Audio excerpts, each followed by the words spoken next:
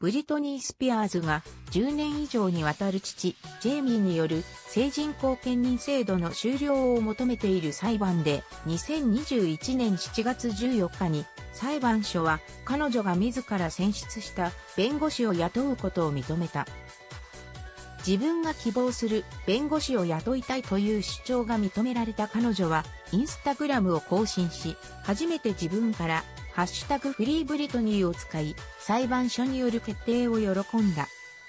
こんなに素晴らしいファンにサポートされることがどれほど私にとって意味深いことか皆さんにはわからないでしょう。神の祝福がありますように。と彼女は感謝の言葉を綴っている。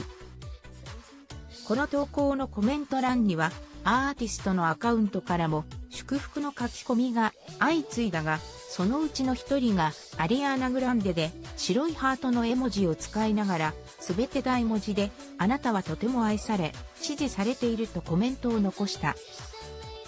この二人が実際に会ったことがあるのか、交流があるのかなどは不明だが、アリアナは2015年の時点で、米 TV 番組ザ・トゥナイトショーでブリトニーの歌声をモノマネしたり、スナップチャルットで Womanizer の一部を歌うなどしていたことがある。コメント欄にはラテン音楽のスターであるパウリナ・ルビオやブリトニーの恋人であるサム・アスカリ、サム・アスコリーも書き込んでいる。